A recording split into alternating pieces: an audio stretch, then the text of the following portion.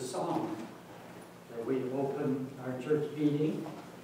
I hope that you pay attention to the words because it fits with the lesson this morning. Uh, I don't know if he knew that or if the Holy Spirit guided him to choose it, but it fits with the message. You can see here that 1 Thessalonians chapter 4. These are famous verses. If you go to a Baptist funeral, most of the time at the graveside, the pastor or some person will read these verses. You'll notice the end there, it says, Wherefore comfort one another with these words. I have memorized these verses, but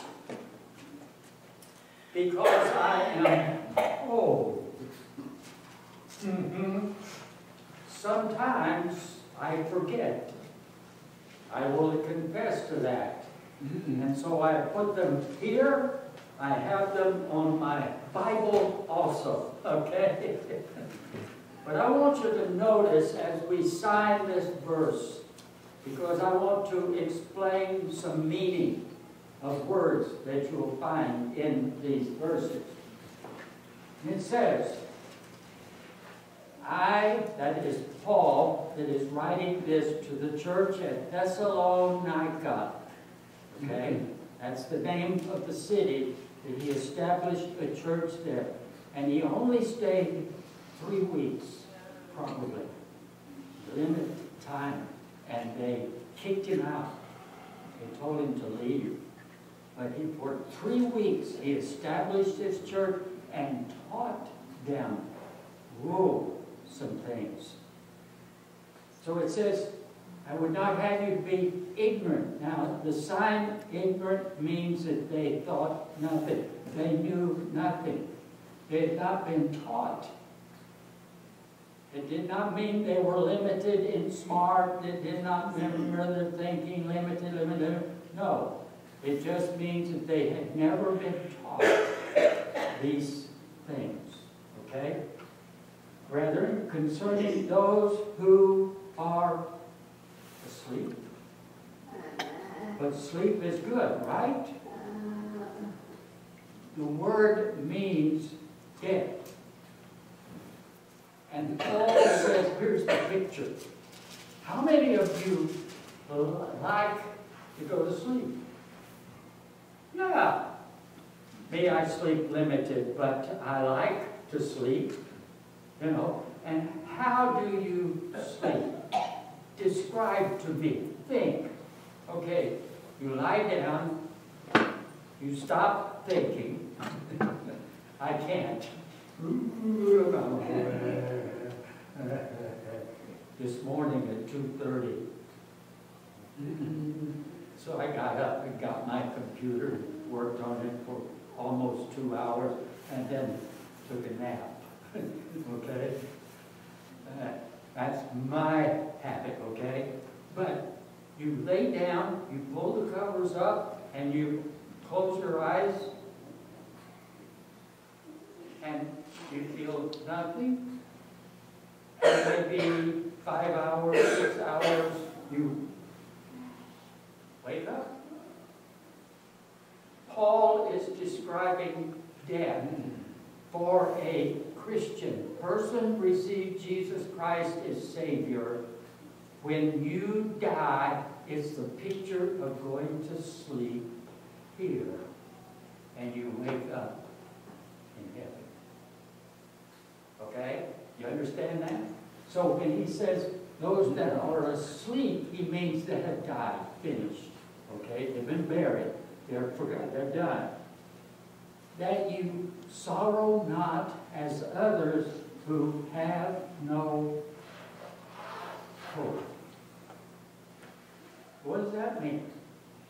That means that when you receive Jesus Christ as your Savior, you have hope, not maybe, but if, you know, no, no, no, no, no. You know that you're going to wake up in heaven.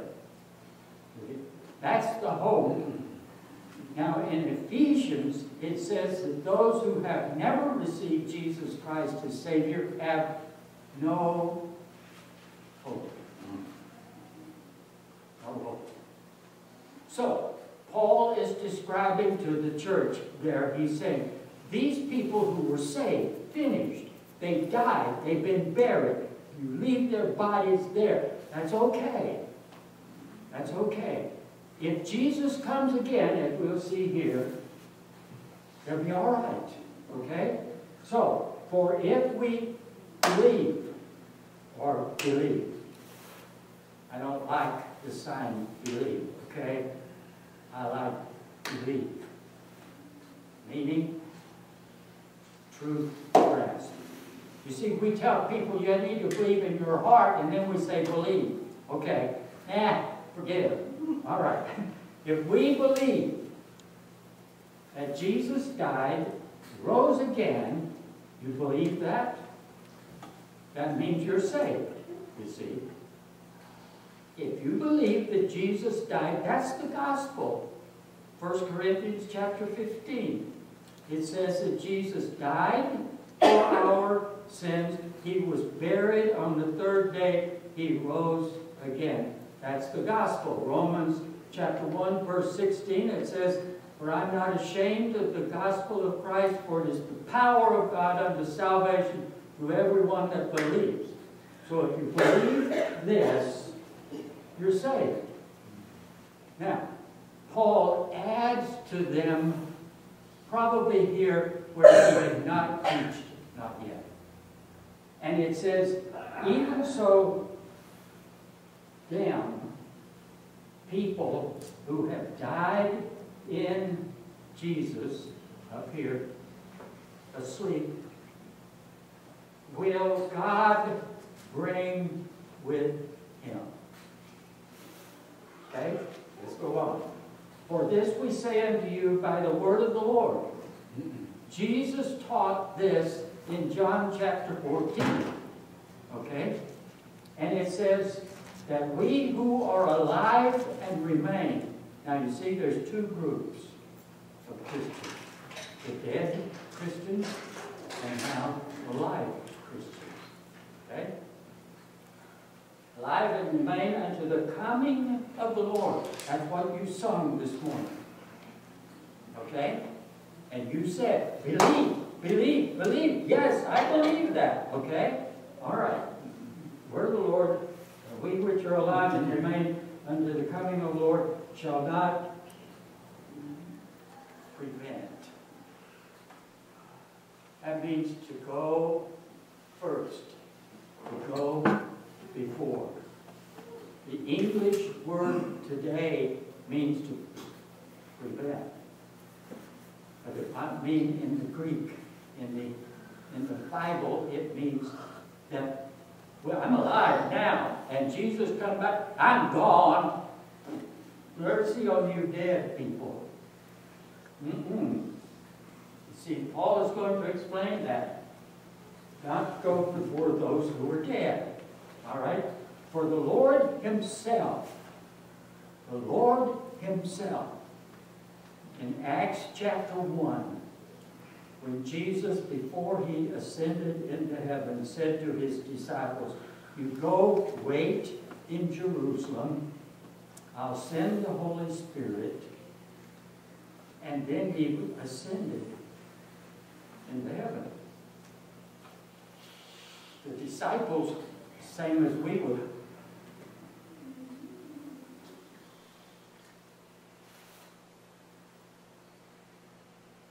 angels came down and said, Hey, why are you gazing? Jesus said to go to Jerusalem and wait. So obey.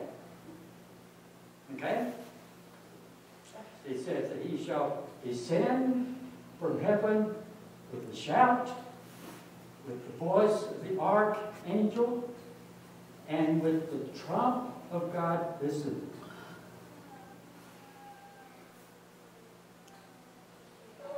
When Jesus comes, those that have died, their graves are going to open, they're going to come out. New bodies, okay? Then we who are alive, our bodies are going to change. And then the two of us will be caught up together. That's what it says. That we which are alive and remain shall be caught up together with them in the cloud to meet the Lord in the air. Okay? And uh, to be with the Lord uh, and shall be ever with the Lord. Understand this comfort. If your family member dies that they're saved, you can understand that you have a hope. That one day, whether you are alive or dead, you will be caught up together and meet the Lord in the air. Okay? Now, I want to show you something. We many times say that Jesus is coming back. Do you understand that Jesus is coming back two times? Oh, yeah. Let me explain this to you.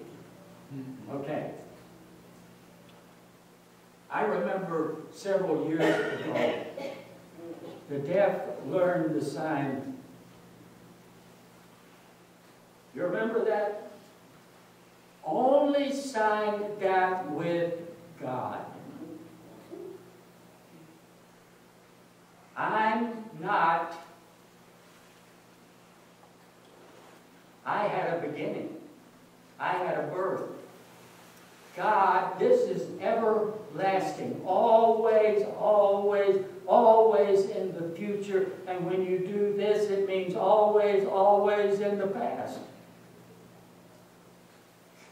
You and me, we're not always in the past. We only have eternal life. God, the Father, the Son, the Holy Spirit. Okay, you understand that?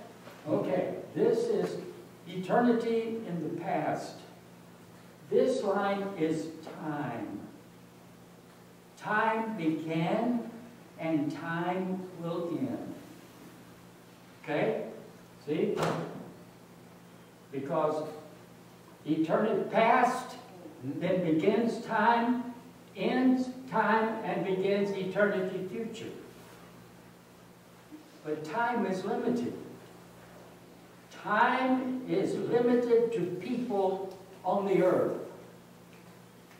God is not limited by time.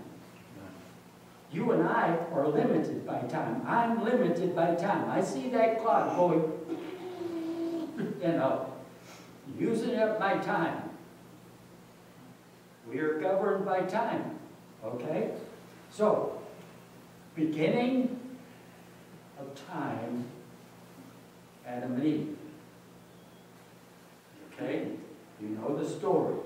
Going on then the time to Abraham or Abraham, Abraham, and then on into Moses, and then the crucifixion. Okay? We're going on and on time. Began after the crucifixion began the church.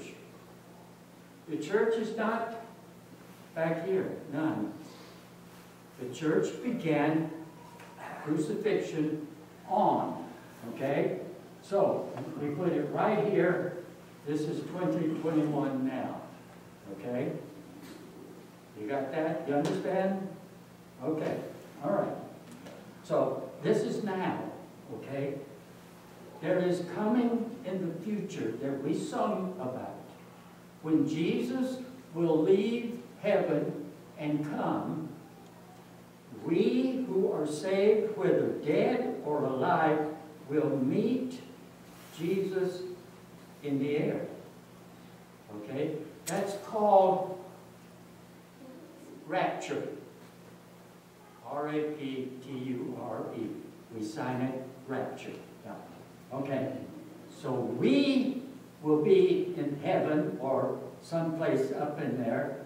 This is the judgment seat of Christ, where every saved person will stand before Jesus and be judged for our work, our service.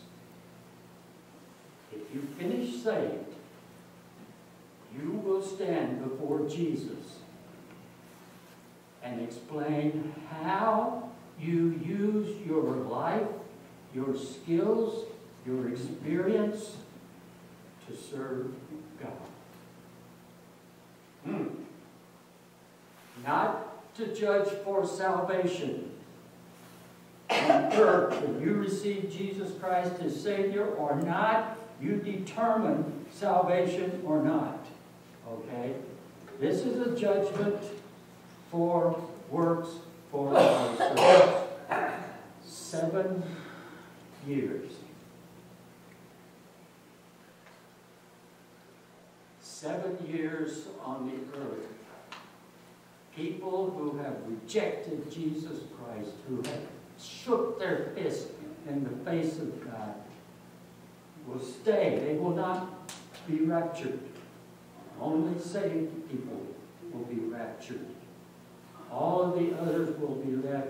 Seven years are horrible. Judgment of God on the earth and people because of their evil. Okay? Seven years. You read about that in Revelation. Beginning, I think, in chapter 5, beginning in chapter 6, all the way to the end of 19. It describes this horrible judgment, the wrath of God that is poured out. You know, the interesting thing is that there's a verse that said, although they were suffering and gnawing on their teeth, yet they refused, they blasphemed the name of God. Seven years. Then, at the end of seven years, Jesus will come back to earth. Do you remember in Acts chapter 1, we told you uh, verse just recently, where Jesus said to his disciples, Go in Jerusalem, wait. And the angels came and they said, This same Jesus that you see ascending into heaven will come in the same way.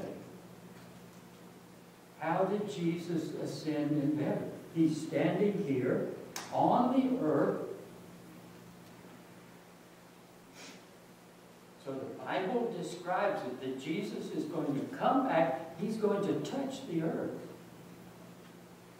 And there he's going to establish for here 1,000 year reign on this earth. And it's going to be fantastic. Rule of right action. His government will control 1,000 years on this earth. At the end of that 1,000 years, this is called the Great White Throne Judgment. And every person that stands before that judgment will be cast into the lake of fire for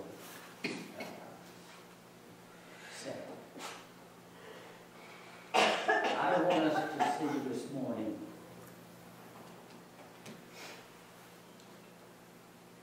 what if Jesus comes back today? What if? And it may be today. Most smart Bible students be thinking about Jesus coming and all and it explains it, explains it, explains. They believe that Jesus is coming any day, anytime.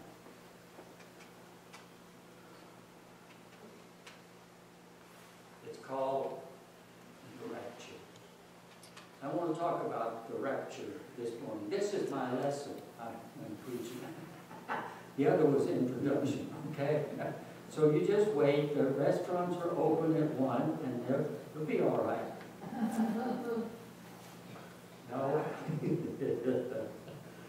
Okay, let's talk about uh, the rapture, okay? Understand the rapture, not the- the second time that Jesus is coming at the end of the seven-year tribulation, but the first time that Jesus will come. It is called the rapture. The rapture. Let's talk about it. First of all, it's going to be a surprise. You know why it's going to be a surprise? Because no person on this earth that's living or dead know the date or the time. You know, some people curious, they asked Jesus, they said, when are you coming back and establishing all of these kind of things? And Jesus said, eh, it's not for you to know the date. Only my heavenly Father knows the date when I'm coming back. But you know what? People think, oh, I can determine. I can analyze, I can read the scriptures and count, count, oh, the Lord's coming back in 1988. And he prints a book, 88 Reasons Why Jesus is Coming Back. How many of you believe that Jesus came in 1988? Raise your hand. I'm happy. Because if Jesus came back in 1988, that means all of you were left. And although we're going through some difficult time, it's not the same as the seven-year tribulation time. We cannot know the date. It's going to happen. It's going to be a surprise. I don't like surprises. You like surprises? I remember back when I was 15, I was living with an aunt and uncle in Georgia. And they gave me a surprise birthday party. I had never had a birthday party before, and it surprised me.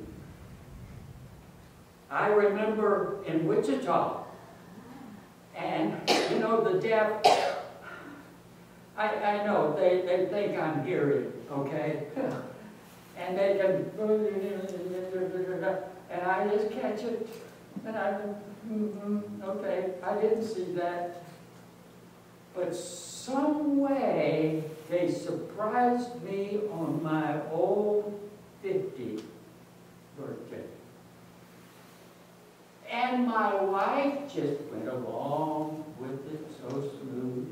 I finished preaching at church and they said, my wife said, you know, I would like Chinese food today. And I said, fine with me. we go to our favorite restaurant, Chinese, and I see a deaf man standing there. And I said, oh no, I don't like to eat with deaf people. Uh-huh. I, I don't.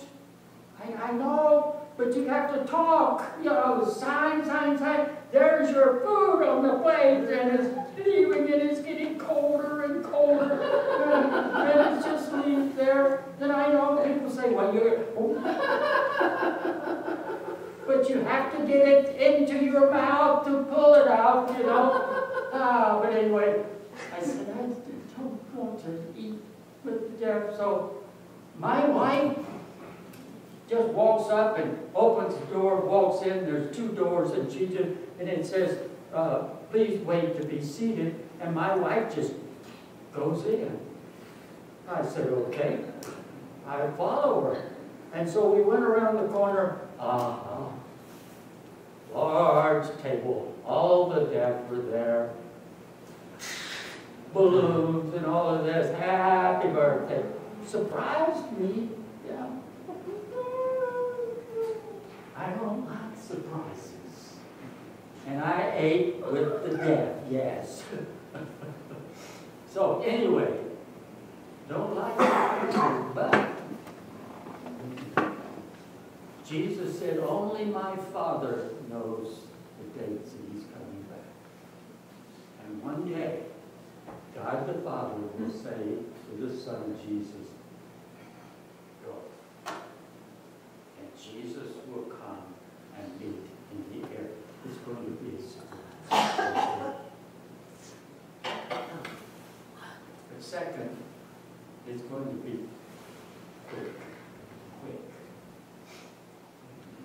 1 Corinthians chapter 15 describes it this way. He said that Jesus will come, our bodies will be changed in the twinkling of an eye. Now, not mean wink. It just means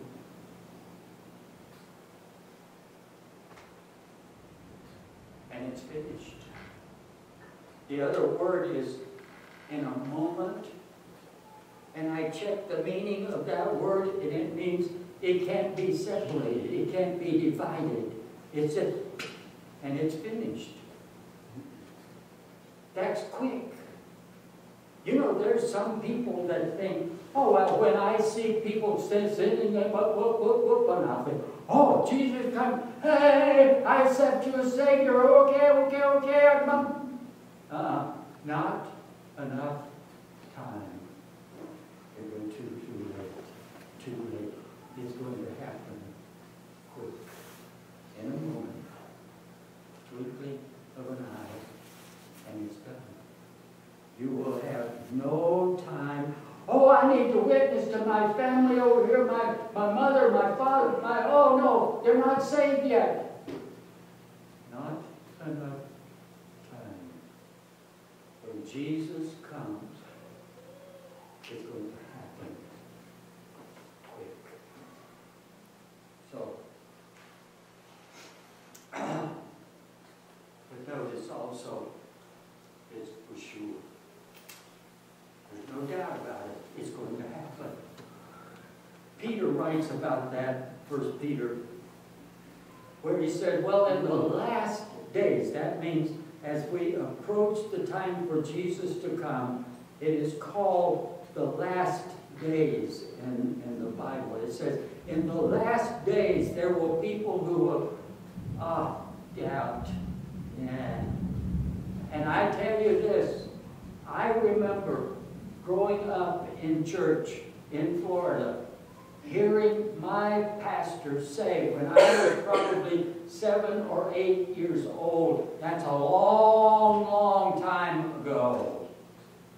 More than 70 years ago, I heard my pastor preach that at any time Jesus could come back, and he's put it off and put it off for more than 70 years. Some of the old, old preachers in the past preached that Jesus could come at any time. And they were right. It, according to the Bible, that Jesus could come at any time. But Peter said, oh, wait a minute. God is not the same as people think. And then he says, one day is like a thousand years. Now, I've not lived a thousand years, not yet. I'm working on it. Okay? I'm working on it.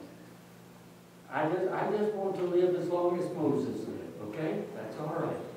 He was 120 when he died. But, and, and then he adds another 1,000 years is the same as one day. One day is like 1,000 years. You know what that means? God is not limited by time. Whether it's 1,000 years or 7,000 years or 100,000 years, it means nothing to God. He's not limited by time. We are limited by time, but not God. There's, there's no time with God, and it just goes on, and He thinks in the past and in the future, everything is now with God. Mm-hmm. You understand that? No. Because we are limited by time. I cannot understand that God lives in the now all the time. I don't live in now. Now is already gone. It's a minute later. And when we finish church, it's going to be 20 minutes later. And then I'll be, oh, whatever. We are limited by time. We cannot understand that God does not see days or weeks or months or years or hours or minutes. It, it means nothing to God. And so when he says, I'm going to come back, he knows the date, he knows the time, because he knows everything. But it, it means nothing to you and to me. But understand, Peter says that when he promises something, he's not like people that promises. When he promises that he will come back, you can be sure that God will keep that promise. And when the right time, Jesus will come. He may put it off for us, which means more time, month, year. In his mind, it's nothing. It's happening. It's now. It's always now. But it's sure. And it will happen. Because you studied through the Old Testament the many times that God promised something, it happened. God promised it happened.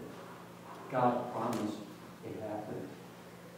All the way through the Old Testament. And the end in Malachi, chapter 3, it says that because God promised that Israel was not destroyed. See, he promised David, he said, your throne will be established forever.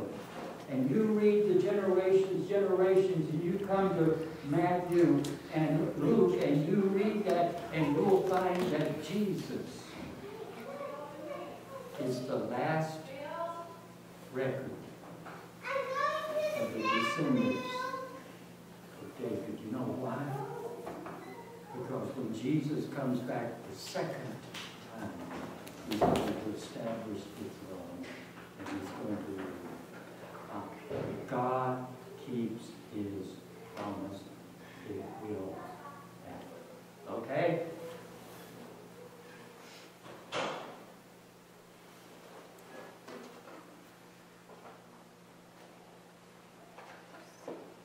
Your sign for serious? Serious? Yeah. Serious. A joke. It's truth. It will happen. Serious. The serious is this that Jesus, the first time in the rapture, is coming for saved people only.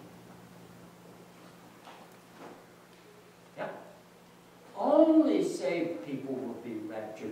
Whether they're dead and buried or whether they're alive, it will be at the same time. They will both be caught up together. But all who have refused to receive God's way for saved will be left on the earth. That's serious. How many people in your family ever received Jesus Christ as your Savior? They'll be ready. think about many deaf people living all over the world that's never heard the gospel, never had the opportunity to reach Jesus Christ as their Savior. When Jesus comes, they're not saved. They're going to be left. Serious time. Which means that when we understand that, we need to get busy. Think about your friends, your family, the death all over the world. They're going to be left. It's serious because those that are left are going through some really difficult. When more than one half of the people living on the earth will die because of the judgment of God. It will be a horrible time. And I believe there's some discussion about it, but in First Thessalonians, it seems to explain to us that if the people have heard the gospel now, when Jesus comes, that time will be. They will not have a second time. Serious? Yeah, serious. Okay?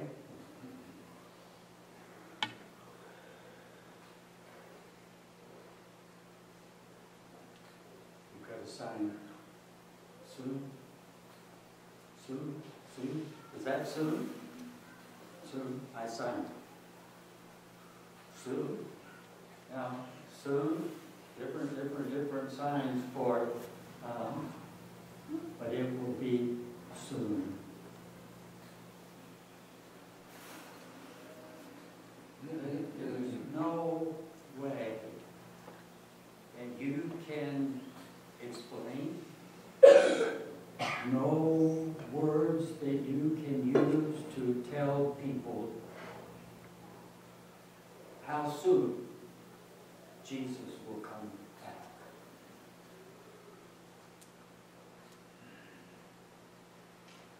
Interesting. I have a message that I preach. What's the last message that Jesus gives to the church? Any idea? What's the last message that Jesus gives to the church? What's the last? Sentence. Explain to me. Mm-hmm. Okay. Any other idea of what's the last message of Jesus? Yes.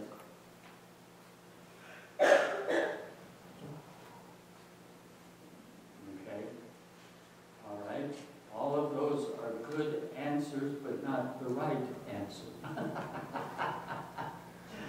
ah, the last answer is found in the last chapter of the Bible.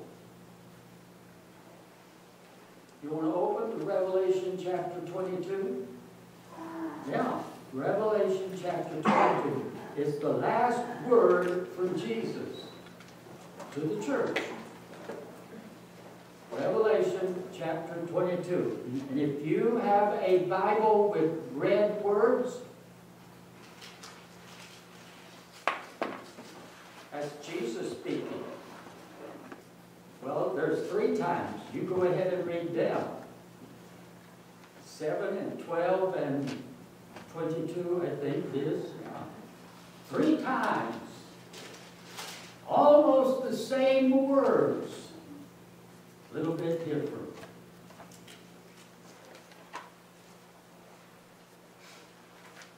Yeah. I guess I better find it just in case I don't remember.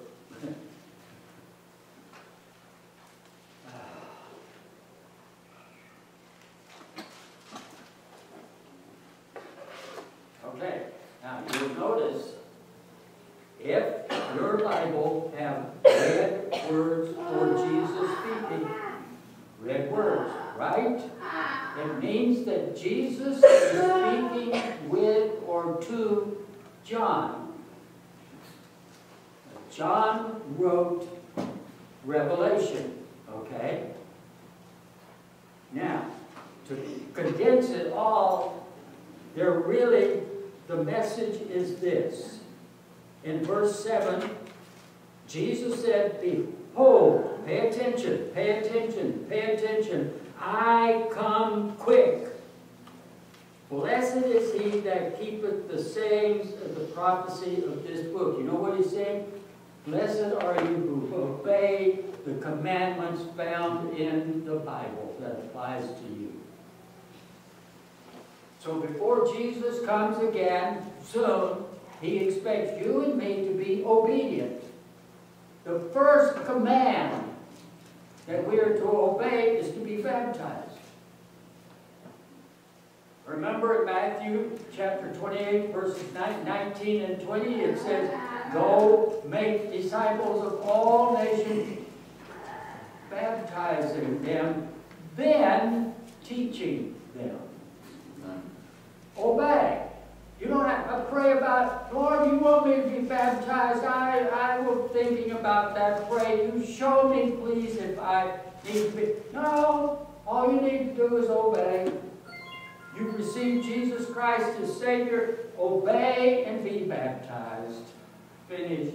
That's obedience. Yeah. Yeah. Or any of the other. Love one another. Huh? It's a command that we're to love one another. It's a command that we pray for one another.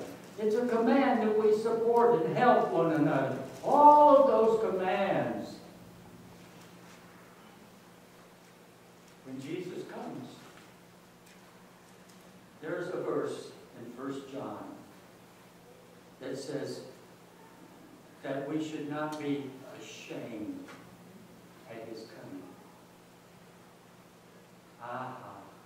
But there's another one in verse uh, 12. And it says, Behold, I come quick. Oh boy. Huh. Jesus is emphasizing this, that he's coming soon. So you better be obedient. And then he says this, My reward is with me to give to every person according as his work shall be. You know what this verse is teaching? If you go all through the New Testament, you will find that God has a plan for your individual life that includes good works. Ephesians chapter 2, verses 8, 9, and 10.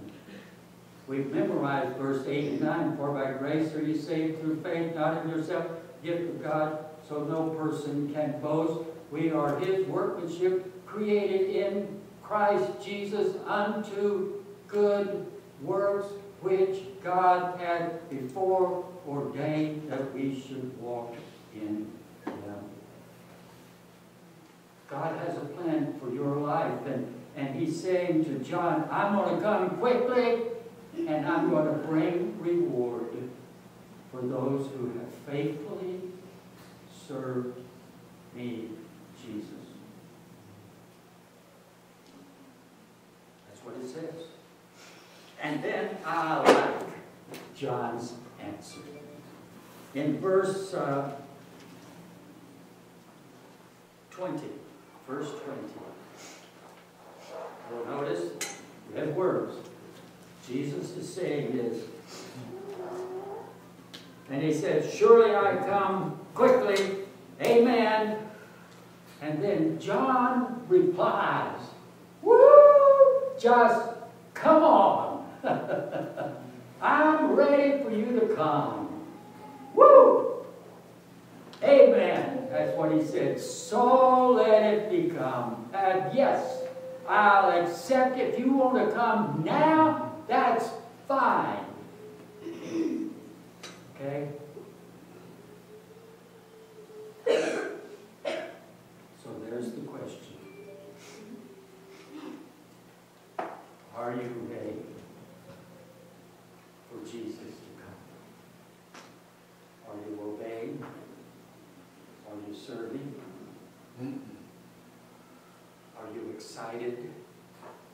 Paul said, I'm anxiously waiting for him to come back he's going to give me a crown of righteousness. And all of those people who love his appearing. That's coming again when we meet him in the clouds. You see, Paul thought that Jesus would come in his lifetime. Didn't happen. It may not happen in my lifetime. I expect it. I think yes. But it may not. I may die. That's fine. Because you see, I have hope. Whether I am dead or alive, when Jesus comes back, I'm going to rise from the dead, receive a new body. If I'm alive, my body is going to be changed, caught up at the rapture, to be with Jesus evermore. My question to you, are you ready? If you've never received Jesus Christ as your Savior, you're not ready. You've never received Jesus Christ as your Savior. Jesus came right now, you will be left. And probably, if I believe right, your heart would be hard and you would never receive Jesus Christ as your Savior. And at the end, you will go to the place of fire. Now is the day for salvation. If you've never been saved, I would invite you to come in just a moment. But most of you, I think, probably have finished receiving Jesus Christ as your Savior. How are you doing? You're obeyed? You finished baptized? If not, now is a good time to say, no, I want to be baptized. That's your question. You're serving God. You see, God, when you're saved, the Holy Spirit gives you a skill to help build this local church. Liberty Baptist, D, D, Deaf Liberty Baptist Church. You are here. God put you here for the purpose of accomplishing the plan that God has for your church. You have a skill, an ability to do something for God. Using it? Or you just sitting doing nothing? Now, all be pastors. All of you can't be Sunday school teachers. We understand that. But you have a skill. The Holy Spirit has given to you. It's a gift. You didn't pray for it. You didn't ask for it. But that skill will help you to do what God has planned for your life. But you have to surrender. You have to do it. And when you meet Jesus at the judgment seat of Christ, you will explain. And and and let me let me just say quickly. Jesus is not going to accept the to, well, I'm deaf. I no, Jesus is not going to accept that. Because he will say the Holy Spirit gave to every person. I can show you the verse For you have a skill and God expects you to use it for his glory and for the growth of this church. Jesus truly coming again. It will be a surprise time. You don't know the date. It will be sudden in the moment, the twinkling of eye. You will have no more time to decide to do nothing. It's finished. And it's for sure. God promised it. Jesus promised it in John chapter 14. He said, I will come again. That's a promise from Jesus himself. And Jesus cannot lie. God cannot lie. He's coming. It's for sure. It's going to happen. It'll be a serious time. Your loved ones, your friends, deaf people all over the world will be left because they've not received Jesus. It should be seen. It could happen today. You remember we said, what if? Maybe today. You ready? Father, thank you for the time to preach and teach your word this morning. I pray, Holy Spirit, that you will use, apply to our hearts and our lives and our minds. Help us to know for sure, maybe soon, Jesus will come again. And our life here on earth is limited by time, but it will be finished. And we will get eternity. And what we do now will determine the place that we stay forever in heaven or in the place of fire, our responsibility and our rule with Jesus, all of these things. We need to do now. Help us to be.